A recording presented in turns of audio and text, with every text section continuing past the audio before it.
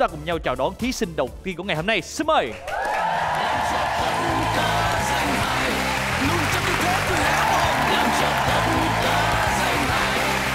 Dạ, lời đầu tiên thì em xin được chào anh Trấn Thành, anh Trường Giang, anh Ngô Kiến Huy. À, Quý vị khán giả đang có mặt tại trường quay cũng như toàn thể quý vị khán giả đang theo dõi chương trình qua sóng truyền hình. À, Em tên là Võ Đình Cao Nguyên, 27 tuổi, hiện đang sinh sống và làm việc tại thành phố Hồ Chí Minh. Rất vui khi được tham gia vào chương trình Thách thức danh hài mùa năm ngày hôm nay cùng với tất cả mọi người. Ôi, giống MC à cái cách nói giống y chang MC á Em là MC hả? À, dạ thì thật ra trước đây lúc mà em còn đi học đại học thì em cũng có tham gia vào các hoạt động ờ, ở trường với tư Biết cách là mà. MC dạ. ờ Lưu loát quá, Lưu nói loát. quá trời nói Cao, đẹp trai ha không? Cảm ơn tên là cao nguyên hả Dạ em tên Cao Nguyên Cao Nguyên có có Nguyên. đến từ ờ, vùng tây nguyên không Dạ thực ra là gốc của mẹ em là người Bắc, ba em là người miền Tây Em ờ, sinh ra ở Tiền Giang và chưa bao giờ có cơ hội đi đến Cao Nguyên Nhưng mà em vẫn tên là Cao Nguyên Gia đình cũng rộng ha Dạ. Diện tích cũng rộng Từ miền Bắc qua tới miền Tây Đẩy nhẹ qua Sài Gòn lên Có bạn gái chưa? Dạ ờ, em lập gia đình ờ, cách đây vài tháng Hả? vài À, tháng Sớm vậy? Vợ em ờ, là bao nhiêu tuổi? Dạ nhỏ hơn em 2 tuổi anh là 25 Rồi tuổi. Dạ. hai đứa đã có con chưa? dạ thì thực ra tụi em không dám ờ, vượt mặt anh Trấn Thành Bây giờ anh Trấn Thành trước thì tụi em không dám ngày hôm nay có ờ, vợ đi theo cổ vũ không hả chàng Dạ trai thì um, em cũng xin thưa với toàn thể quý vị khán giả và anh giám hai anh giám khảo Nhân Huy là ngày hôm nay em đến đây à, với sự trợ giúp nhẹ của em trai em và một nhân vật thứ ba vô cùng đặc biệt thì nhân vật này có một mối quan hệ rất là thân thiết đối với à, cả ba anh Giang Thành Huy ngồi ở đây. Cái thế lực nào mà ghê gớm vậy? hiện tại đang làm công việc gì Dạ em thì à, hiện tại em đang à, công tác ở trường Đại học Sài Gòn. à Dạ. Với vai trò Dạ, um, thực ra thì em cũng chia sẻ với hai anh là cái ước mơ, cái đam mê của em đó là được đứng trên bục giảng Nhưng mà hiện tại do em vẫn còn thiếu một cái điều kiện cho nên là hiện tại em vẫn tạm thời làm công việc văn phòng ở trường mà em giảng môn gì?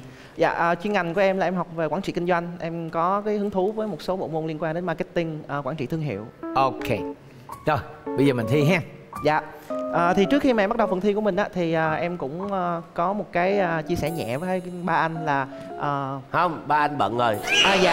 Hai hai anh hai anh giám khảo dạ. Hay là nếu như những cái gì mà em sắp nói sắp làm sau đây nó có làm cho anh Trấn Thành buồn thì anh cũng mong anh đó là cái em đến từ cái trí tưởng tượng à, sản phẩm trí tưởng tượng. Nếu mà lỡ nó có đâm trúng tim đen của anh làm cho anh buồn thì anh cũng ráng chịu nha Cảm ơn. Dạ thì em xin bắt đầu thời gian 60 giây bắt đầu Trấn Thành không xa lạ gì là một thương hiệu cực kỳ nổi tiếng ở các chợ đầu mối trên khắp cả nước. Anh ta sở hữu một lực lượng người hâm mộ lên đến 11 triệu người và con số này theo như dự báo của Trung tâm Khí tượng Thủy văn sẽ tiếp tục giật cấp 12, cấp 13. Đi kèm với đó là số đo vòng 2 càng ngày càng lớn và sớm vượt ngưỡng báo động 150 cm. Trên mạng xã hội của mình, anh ta cười thanh xuân buổi sáng có 15.000 người cười theo. Anh ta lén lút đi đắp mặt nạ có 13.000 người kịp thời phát giác và anh ta thường xuyên xuất hiện một cách cực kỳ lịch lãm chỉnh chu trước đám đông và ghi điểm bằng những phát ngôn đậm chất ngôn tình dành cho vợ của mình. Kiểu như, với cô gái này tôi cảm thấy gia đình muốn an phận. Và để tiếp tục lớp học thì xin mời bạn trai ngồi đây. Bạn có thể kể ra cho chúng ta biết thêm một vài phẩm chất đặc điểm tốt ở Trấn Thành đã góp phần làm nên thương hiệu của anh ta trong thời gian vừa qua hay không? Xin mời bạn. Chân thành không có gì tốt cả Theo tôi. Đó là một câu trả lời chính xác có gì đâu mà kể. Cùng lắm chỉ là một gã biết định vợ bằng những câu mật ngọt kiểu như là anh ta tuyên bố rằng nếu như cô Harry mất đi bất cứ thứ gì anh sẽ đền lại cho cô Harry gấp đôi thứ ấy. Nói sao đó. Có mấy nói nha Harry rất ghét mấy người mà nổ như vậy luôn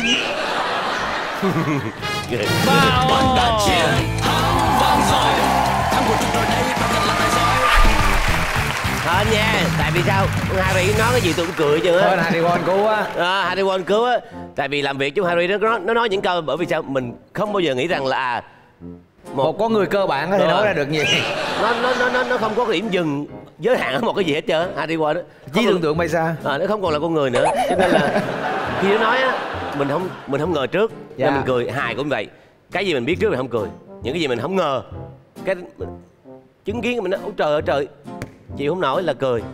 Vừa rồi Harry nó đã về để nó cứu rồi. Dạ Em có biết em phạm cái lỗi lầm gì không chàng trai? Dạ em cái gì anh Dương nói cho mình biết ạ. Em đưa ra information quá nhiều. Đúng rồi mà không có cái gì đặc sắc để lựa chọn. Không có cái điểm đặc sắc trong information của em.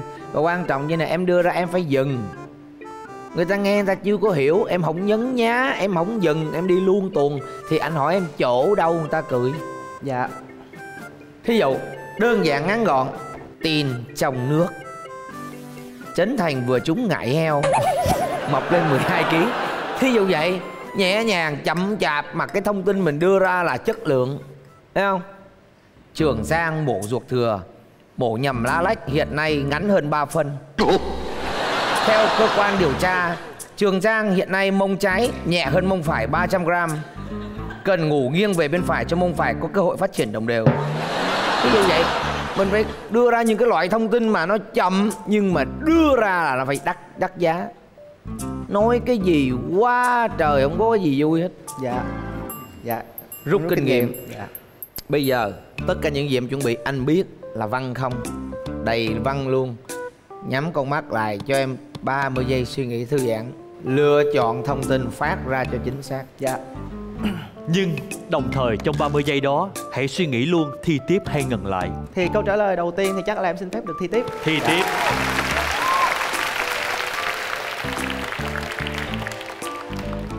Rồi có ai hỗ trợ em nữa không? Hay là vẫn là nói? Dạ một mình em thôi. Nói nha nói cho cho em nghe. Dạ em cố gắng. Dạ rồi. Dạ Rồi Em- Thời gian 60 giây cho bạn Bắt đầu Ngày 25 tháng 12 năm 2016, trước sự chứng kiến của cả nền kinh tế, Trấn Thành đã giả bộ khóc như mưa trong buổi lễ ký kết ra mắt liên doanh hàng Việt thành lập công ty Harry Thành, chuyên sản xuất kinh doanh các mặt hàng mỹ phẩm giỏm và giả. Hồi nãy mới tặng Ngô Kiến Huy một hũ xong. À, và anh ta xuất hiện trước đám đông một cách rất lịch lãm chỉnh chu như đã đề cập và thường xuyên ghi điểm bằng những phát ngôn đậm chất ngôn tình dành cho cô vợ của mình như đã nêu ở trên. Và đến với lớp học của chúng tôi ngày hôm nay thì chúng tôi đã mời được đến đây bà chủ của cái chợ cửa hàng làm ăn tạp nham đó. Tuy nhiên do bà chủ ngại có xuất hiện trên sân khấu nên bà chủ sẽ không lên trên này. Xin được hỏi bà chủ rằng việc mà Trấn Thành xuất hiện rất chỉnh chu như vậy và thường xuyên ra tay giúp đỡ những mảnh đời bất hạnh trên sóng truyền hình, đó có phải là hành động xuất phát từ thật tâm của anh ta hay không? Tất cả chỉ là lừa dối thôi. Lại có ý kiến khác cho rằng việc mà Trấn Thành à, lại có ý kiến khác cho rằng hai người hợp tác mần ăn đã lâu bà chủ đã trải qua nhiều đợt kinh nghiệm nhưng chờ hoài vẫn chưa thấy có thay đổi và người ta bắt đầu nghi ngờ rằng Trấn Thành năng lực hay bất lực. Thì um, ai cũng biết như vậy mà.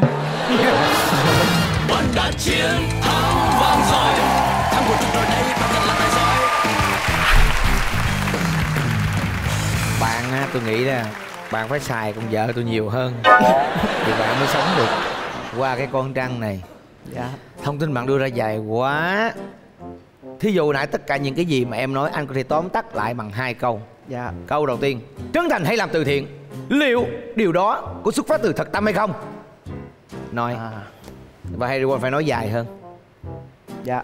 Và lựa những câu nào đắt giá mà nói một cái là cười liền. Câu số 2 Trấn Thành luôn luôn không sức mướt trên sân khấu. Như vậy khăn giấy đến từ đâu? Nói Harry Potter nói tiếp. Câu hỏi luôn luôn là ngắn ngủn. Dạ. Câu trả lời người ta nghe mới bắt đầu người ta Ờ sắp sửa nói cái gì? Nói dài quá mới dặn dòng một lại tiếp tục dòng hai. Vì sao? Vì khi nói dài á Người ta không có tập trung vô câu cuối cùng của em Để bắt nhịp cho cái câu trả lời của Harry Potter. Chính Dạ. xác. Ừ. Hiểu không? dạ rồi Hơn là em lựa hai câu trả lời thông minh. Chàng trai Cao Nguyên ơi. Dạ. Lưu ý với bạn Hai phần vừa rồi giám khảo cười ở những giây cuối cùng. Dạ. Bạn đã có 10 triệu. Dạ. Liệu rằng bạn quyết định thi tiếp hay ngừng lại? Dạ um,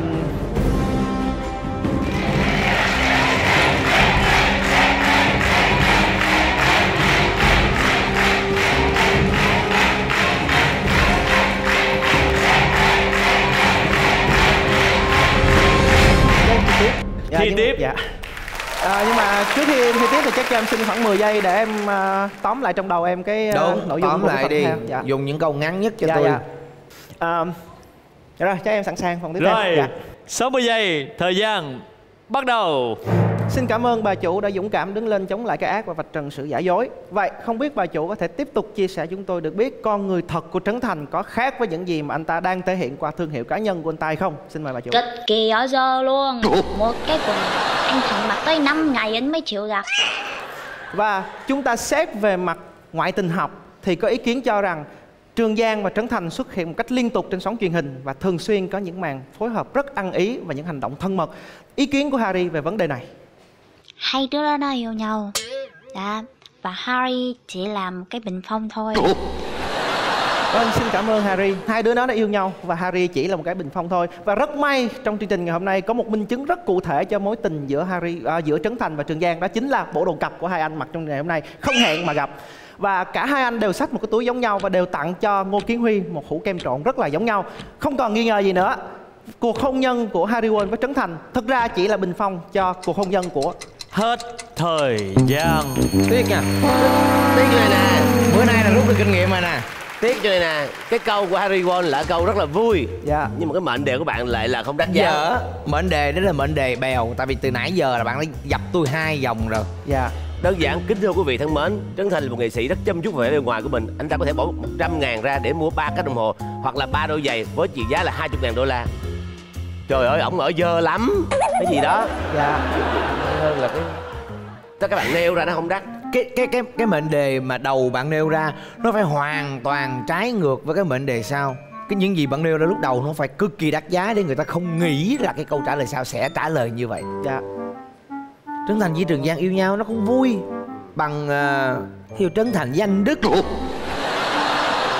thiệt Dạ. nó có cái gì đó nó vui hơn. Nó, nó tại vì nhắc nhắc tới Đức là tôi hay rao bán này nọ. Trấn Thành hay rao bán anh Đức nhưng liệu đó là cái gì? Ừ đã bắt đầu Harry nói cái đó. Nó đỡ hơn. Tại vì Trấn Thành Trường Giang nó bình thường. Dạ. nhưng mà cũng khen bạn là bạn nói được cái vụ hai bộ đồ cặp. Bạn nghĩ ra tại chỗ bạn bạn liên Dạ. lại được. Thật ra tôi đánh giá cao bạn. Dạ em cảm ơn anh. bạn là người trẻ và có tư duy Có sự suy nghĩ. Chỉ có cái là tại vì bạn chưa biết cách thôi. Dạ. Mình còn trẻ mình chưa có biết cách hệ thống mọi thứ lại. Hy vọng rằng là bạn lấy cái này làm một cái hành trang cho bạn khi đi giảng dạy luôn. Dạ. Hãy nghe Thành chia sẻ với bạn một kinh nghiệm. Đó là khi mình truyền đạt Nội dung truyền đạt không quan trọng bằng cách truyền đạt. Bạn truyền đạt nội dung hay cỡ nào mà cách truyền đạt tệ Nó vẫn là kết quả tệ. Nhưng nội dung truyền đạt bạn chỉ là một điều bình thường nhỏ nhoi nhưng cách truyền đạt bạn hay nó vẫn là điều vĩ đại. Đó là lời bạn chia sẻ. Chúc bạn thành công trong cuộc sống. Dạ em cảm ơn anh. Cảm ơn Cao Nguyên ạ Cảm ơn anh Huy. À, em xin chào à, hai anh anh Nguyễn Tiến Huy cũng như toàn thể các khán giả.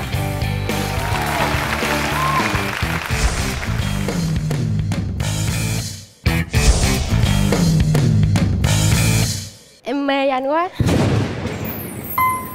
Minh phương nhã phương the xem em chỉ giới thiệu một người khác cho chị. Đẹp trai quá. Hên hên rồi ôi thì đó. Trời ơi. Tan chảy